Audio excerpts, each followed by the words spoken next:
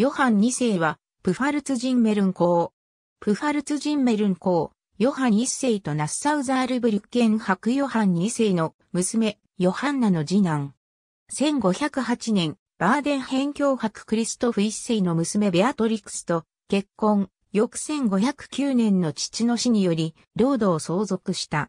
宗教改革で、プロテスタントに改宗、選定校である鳥居や広司教と、マインツ大司教と対立した。1557年に死去、息子のフリードリヒ2世が後を継ぎ、1559年にプファルツ選定行為も継承した。最初の妻ベアトリクスとの間に12人の子を設けた。